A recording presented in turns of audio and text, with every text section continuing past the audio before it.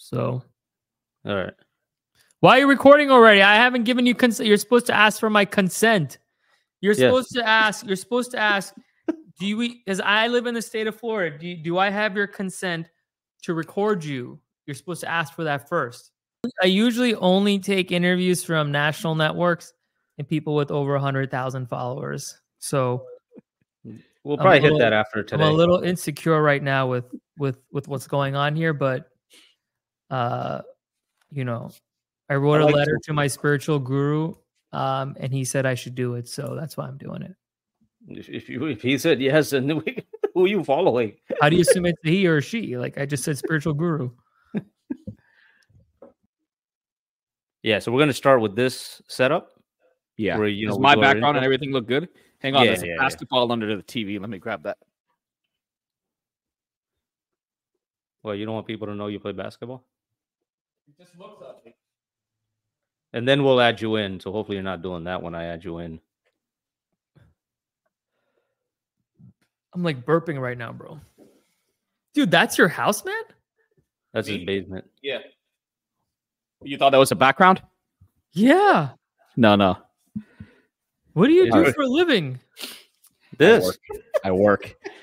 this we we get our money from this. You get your money from all the some samosas you're selling on Shiona. All right, welcome to Warp Warp Curse. Freaking love it. so Hang what on, happens when some you have a when you have a professional guest. We have to pretend. All right, welcome to Warped Curry. My name's Gary Patel. And I'm Yogi. Today we have a special guest. Uh, been trying to get him on here for a while. Uh, he's been on CNN. He's been on Fox News. He's a world-renowned doctor. He's been in many articles. He's been in uh, newspapers, online articles, and today is probably the pinnacle of his career, where he is now on our podcast. Uh, we welcome Dr. Jamin Brahmbhatt. I am so excited to be here. You know, every year I make a list of things I want to accomplish, and getting on your podcast has been on my list for the past 10 years. And so to finally be a part of it, I appreciate it so much. And I appreciate being a part of this. And I hope I can, I can, um, I can meet your standards of all the other guests that you've had on, Guru Patel and Yogi, who only goes by his first name. Did you? I don't know if you know Yogi or have ever met him. I remember him from our Boston days. We didn't interact much because we were in different schools, but I do remember So him. He was that, very popular. He was very popular uh, with the ladies and the guys. Uh, and I was just a nerd at Boston University. So speaking of that, do you remember? So there was a, a Bhangra competition, Yeah. which we had gone to. Yeah. Um, and they had some audio video issue. And I brought my dhol into the audience just to, you know, cause a ruckus and et cetera, et cetera. And uh, you were from BU, I was from Northeastern. So basically, um, they called at me on stage and said, Yo, you got a dhol? Come up on stage. So I was like, All right. And then they call someone from Northeastern, from some other school, and BU. Um, and for for BU, Mr. Jamin Brahmbhatt is the one who no, is selected from the audience. Shut And he comes on stage Really? and they're like, play something on the dhol. So I played a beat, and all three of you were supposed to dance, and then the audience voted on who was the best dancer. It definitely wasn't me. It was 100% you. My, my dancing career was very, very short. Maybe Like because other, of other uh, things, like other maybe things. as a result of that day. By the way, how's my hair? Is it Your hair is freaking great. Both of your hairs are great. Both of you have Your, hair. your hair looks good too, bro. I'm glad you called that out because I wanted to make an adjustment. yeah. How, how's my? There we go. Okay, all right. It's good. Okay, all right. But you're a, a doctor, um, a urologist. Um, I had a title for this, um, which was, I mean, you had a title for this, doctor, um, that we can't probably say or type up um, because you kept telling me to do some topic with that, and I'm not going to do Here, that. can I just tell you something? Go ahead. Like the way you have your microphone, it just makes me think about urology and like ten thousand things All that right, we could- move it over to the side like- a little bit. It's just like Yeah, it's this is so problem. distracting. Let me let me ask you a question before And we you get like make love to that microphone, like you, you had a choice in college to pick man parts or women parts. Why did you go with women parts? So, Garrett, uh, just to let you know how the medical school um, and residency and becoming a physician comes in college, we do not pick man parts or women parts. Uh, when you had a uh, choice. Uh, no, no, no, actually, I went to 14 years of education. So I got in, I went to BU, Boston University undergrad, and I got into BU med school early. And it's in med school where you kind of decide what specialty you want to go to. There's multiple specialties. And it's not even until your third year when you actually decide what you want to go to because because you spend a lot of time in different categories so you may be in surgery for a couple weeks then you'll be in pediatrics then you'll be in internal medicine you may be in urology as an elective. You may do emergency medicine. So you, you kind of get a good feel and that's when you kind of commit to something. So i didn't really have to commit to my specialty until my third year of medical school. Now so once you commit you're going to get into your specialty but the unknown factor as you mentioned yogi is where you're going to go because it's a match. So I actually interviewed at 14 different places at 14 different programs for urology, and I matched uh, in Memphis, Tennessee at the University of Tennessee. Go volunteers, woo woo. Um, and that's where I went, and I spent five years there. But the education that you get, regardless of where you go, is pretty standardized. What makes every place unique is the location you're in, the people you're with, and the hospital systems you work with. But every urologist that graduates after five or six years, because the programs are a little different, should have the basic core knowledge and skills it takes to be a surgeon. And I've followed you for many years when you were doing the uh, drive stalking, for men's health. Stalking is probably a better word that you've stalking. done. Yeah. When you were doing the uh, drive for men's health uh, with the first Tesla, and you, you know, I followed your career. You had a different practice, and now you're, uh, as far as I know, a partner or owner of the practice that you're with no, right now? Same, same practice. I'm still employed by the same people. I'm I'm glad that both you did your research. I didn't say anything. This is him. Just, did this not is him going off. Did, All right, we can cut that out. Let's start this again. No, so, knowing that you've been at the same practice for the last 20 years, you uh, have the biggest guest you've ever asked to come on your podcast, and you're no, going you're based on assumptions from Instagram. you're not the biggest. You're the first. this is definitely this is this is not warped curry this is mystery curry. It that's we can say whatever we want because it's called warped curry. None of it has to ma- make sense. That's the beauty of this. If I had made it make sense, then uh, we would have to. But luckily, nothing we say has to. But uh, no, I mean your career has been pretty impressive. As a doctor, you have three daughters. That is part of the reason why I wanted to do this mental health thing. Um, you know, Yogi has two boys, and I've known him. You know, we talk almost every day. I know what he. I didn't even know you two were friends. no. He's from Boston, dude. I'm from. I'm originally from Boston. But, uh, but I didn't even know you guys were this type of level yeah. friends. Like Gator's like you're like a mystery bro, right? Like that's because I see you, not... and then like I don't like you're there, but you're like not there. Boston, and then you're like DC. incognito. Like I'll be like in the bathroom trying to just relax and no, eat, and then he'll be right next to me. And the next thing I know, like I'll be in my car like parking. It's because I have urology questions and you won't answer them anywhere else. So I gotta follow you into the bathroom. I just do your refills, bro. We're trying to keep the conversations to a minimum. I got a question about men- mental health, right? I feel like, and maybe I'm biased to, you know, either Ayurveda or yoga and that kind of stuff. And I'm not saying that I practice yoga clearly, um, but we put a lot of stress in our culture on mental health and focusing on your mind and you know if your mind is in the right place then it helps. I'm not going to say cure a lot of diseases but it definitely prevents it or you know people might call it placebo in modern medicine et cetera et cetera. What are your thoughts on mental health from the perspective of we are forced to get physicals and when i say forced i mean it's obviously recommended you get a physical every year from your doctor. You get a blood test, you know, every time you go to the physical, they review the results, they put you on whatever, right? It's all based off of that. But there's no routine mental health check that's a part of this. And I feel like that's far more important than even the physical health checkup.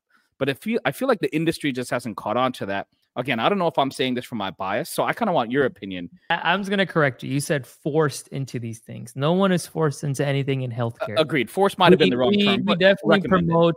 We definitely promote being proactive. There's obviously like guidelines that are evidence based that can really lead to you living a healthy active lifestyle but then there's also things that are not outside that are not in the guidelines you don't even have to go see a doctor to learn them is eat better be active um, and yes focus on your mental health now there are screening tools that your physician or primary care doctor will use but you may just not know they're using them there's actually a form called a review of systems where they ask certain questions which could be used as a screening way to look for anxiety, depression, and other other mental health disorders.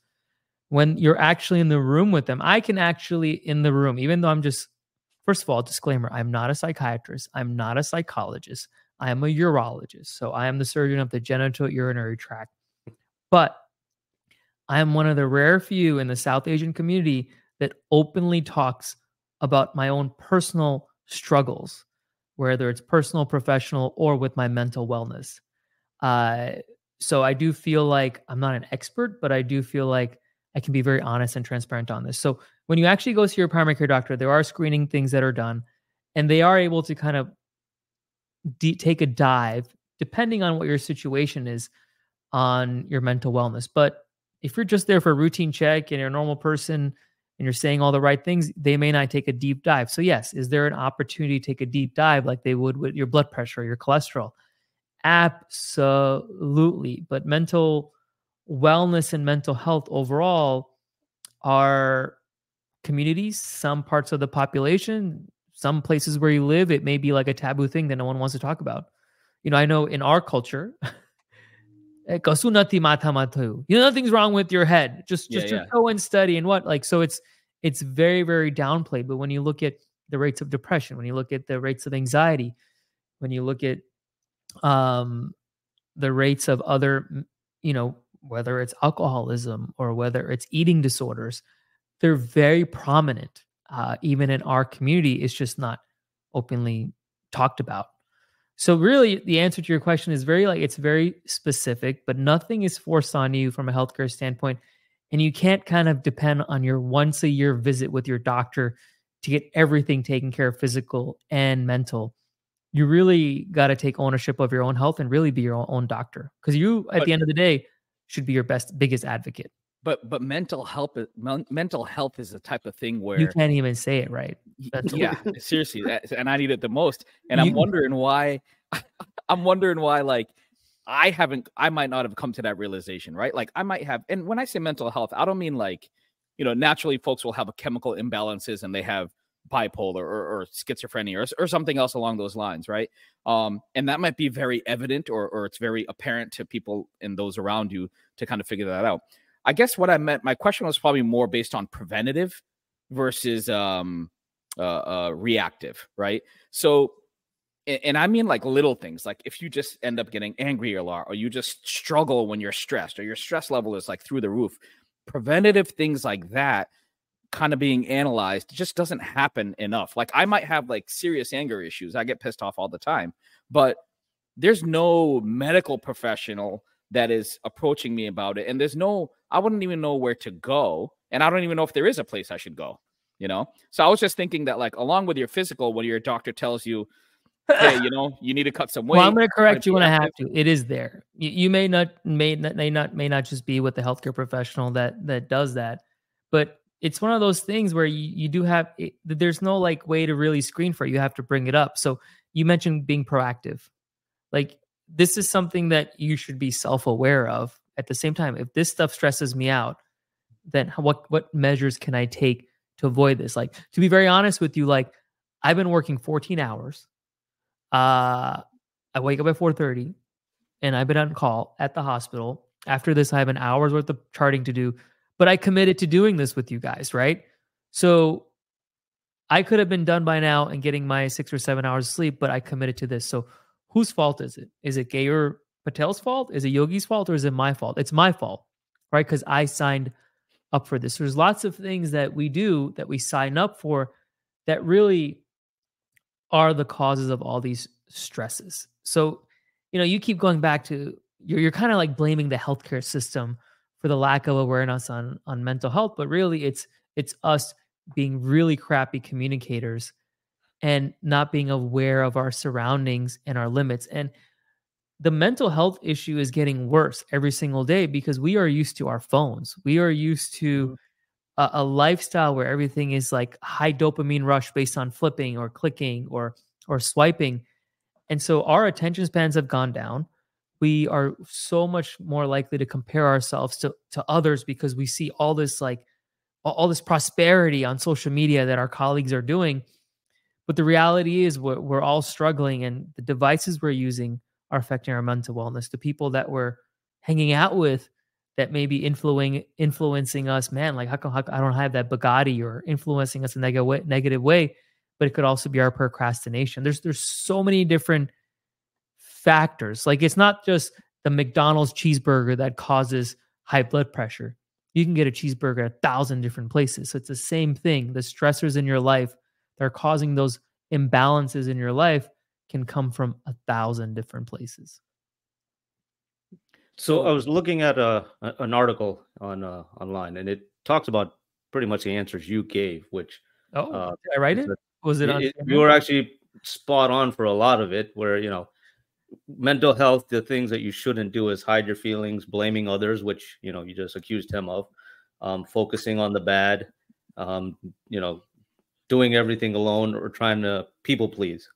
Um, or being involved in toxic relationships. I mean, you pretty much hit most of those right on the head. And what you should do like my relationship with you. but, but listen, listen. I know you're going to try to twist all this stuff, but here's the thing: is mental health is a real, real problem, real, real disorder. So I can talk about all these preventative strategies, but there's definitely individuals where you will see zero signs and have do- zero triggers, and they may be suffering internally. But it's because you know we've made it such a taboo thing where they may not be able to open up like i don't know if you've seen like some of the people that commit suicide which is the most extreme thing that you can do uh, when it comes to your mental wellness there there's pictures of them smiling and laughing and playing with their kids just hours before they do it. So they may be the happiest person in the world. They may have the biggest smile but internally they they really may be struggling. And it sucks because there's really no way for us to tell. Like there isn't. Because of the social media stuff you talked about, cell phones, um, kind of you know keeping up with the Joneses and all that stuff that we see uh, a whole mess of today in society. Wh- what do you do with your kids? Do you take a certain approach just to make sure? Uh, again, naturally, I'm not saying that you know it, it could be genetic, they could be born with something, and there could be an issue. But I assume some of this stuff could be um, based off of experiences in childhood or social media could have an impact on it do you do things a little bit differently from the from today's norm with your kids um, just to make sure that they have a good healthy you know life and and um, their mental health is in the right place or you put the best effort towards that I, I don't I don't know if I'm doing everything right. I guess we'll see as they as they get older. But what we've done with them is, you know, we have mother we're mother and father, but we've tried to be more friends with them, especially now they're entering their teenage uh, days. Is so how do you how do you keep that open line of communication open with them? And so it comes with kind of sometimes bringing up things that our parents never did and asking them questions about the things going on in school and slowly taking a deep dive or sometimes I'll like turn on a podcast that we like listening to that may have a topic that I may want to kind of talk to them about and then bring that up. But I think I've been very fortunate thanks to my wife and the open communication that she's kind of built between us uh, is that we can openly talk about stuff that eh, I, I never had a chance to talk about. And I don't think a lot of families openly talk about. And that may include relationships between boys and girls or things they may have seen on TV or things like cursing or, you know, why we may not want to wear scandalous clothes when we go to the beach. You know, it's, it, it it really is an open conversation, open discussion that we're able to have. And, you know, we're just trying our best. So when it comes to social media, uh, they do not have phones but we did get them Apple Watches. So How we kind of met in the middle and we proactively got them Apple Watches because all their friends have phones. So I have Instagram accounts, TikTok accounts. I don't know how, I don't know why, what they do to, for the age stuff to get it past it. But we got them Apple Watches. So Apple Watches can be controlled, but it gives them abilities to call us. It adds location features. and we slowly started letting them kind of use it to selectively be on chat groups with their friends and dude it's open they're very happy like we proactively gave them something um Mm. that is technology that they enjoy and they have their own ipads but ipads are mostly used for schoolwork but on the weekends and when we go on vacation they can use them for other things so they'll download like a thousand games and then movies but they trust us i have i don't think i've seen them do anything that they they shouldn't be doing like in this room is where all the ipads charge at night. Their apple watches are here too. You know once in a while they've tried to sneak them into their rooms before they go to sleep but we have a conversation and bring them here. So we've just been very open and transparent. And yes one day they're going to want a facebook account one day they're going to want an instagram account. You know we'll we'll have that conversation and as long as we trust each other you know hopefully uh it'll work out but i don't know man it just i get stressed out every day am i a good dad You know what the best thing about the watches is when one of them will text me randomly saying hi or Yeah. miss you when you're coming home like because i've been i'm so busy throughout the day that my only communication with them used to be in the morning if i see them and then when i come home and the weekends and there's sometimes days where I don't even see them. There may be like two or three days I'm on call where I'm coming home when they're asleep and I'm leaving before they even get up. But this is kind of like open things up where we can send emojis or pictures, or we have like a family group and we have separate groups. So for us, I think it's actually this, you know, technology these days has broken up families. But Mm. I feel like for us, because it's being used as a way that's conducive to our relationship, has actually brought us together. All right. Um, Was actually, that, this was that boring? Was that boring for you? No, that No. was I, good. you- I thought this was supposed to be fun. Trust me, it, it's it was fun enough, but I think the stuff This is that like you so boring. the stuff you spewed out was a lot more useful for other people. We're all mentally fit. That's why it, you know it Like, I thought this was supposed to be fun.